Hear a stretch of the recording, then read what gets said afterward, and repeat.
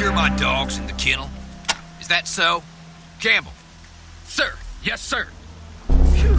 All right then, we're done here. Run on back to old Snaky and let him know I'm willing to talk. I ain't promising nothing, but we'll talk.